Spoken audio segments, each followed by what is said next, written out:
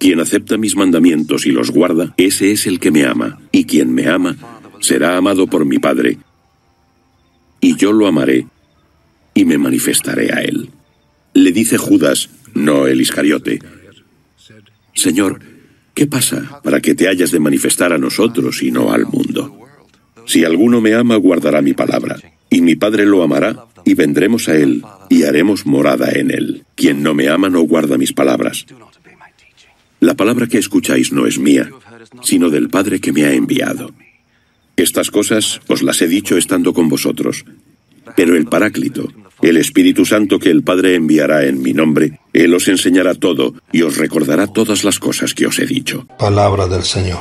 Quiero empezar con una oración para todo discípulo misionero. Señor Jesús, aquí me tienes para servirte y colocar a tus pies el servicio que me has encomendado y en que estoy empeñado. Tú me escogiste para ser tu discípulo misionero, testigo alegre de tu evangelio, anunciador de tu mensaje, de tu persona a los hermanos. Gracias Señor por confiar en mí, en mi pequeñez. Estoy dispuesto a cumplir esta hermosa tarea con sencillez y modestia, amor y fe, con una alegría profunda de ser testigo de tu amor. Quiero despertar en muchos hermanos cariño y pasión por tu persona, confianza en tus promesas para que vivan en esperanza. Deseos de seguirte como discípulos, bendice día a día mis esfuerzos, mis pasos, pon tus palabras en mis labios, tu misericordia en mi corazón, y haz que en comunión con mis hermanos pueda colaborar en extender tu reino. María, Madre mía, estrella de la evangelización, tú que seguiste siempre con fidelidad las huellas de tu Hijo, guíanos por ese mismo camino. Señor, gracias por llamarme, por enviarme y acompañarme. Amén. Mis queridos hermanos, Jesús es nuestro camino, verdad y vida si escuchamos, aceptamos y vivimos sus mandamientos. Por esto, mis queridos hermanos, no basta decir Señor, Señor. Hay que ser testigos de Jesús con nuestra vida. Es en este amor comprometido que experimentamos el ser morada de Dios. Vendremos a Él y haremos en Él nuestra morada. Qué dichosos seremos en ser morada de Dios. Emprendamos con Jesús resucitado nuestro caminar hacia Pentecostés. Es el Espíritu quien nos enseñará, nos formará, nos guiará y nos dará la valentía cotidiana de discípulos misioneros que compartimos con gozo la persona y el mensaje del Señor Jesús. Mis queridos hermanos, aceptemos lo que Jesús nos dice, no vayamos por otro camino. El que acepta mis mandamientos y los cumple, ese me ama. Tú y yo,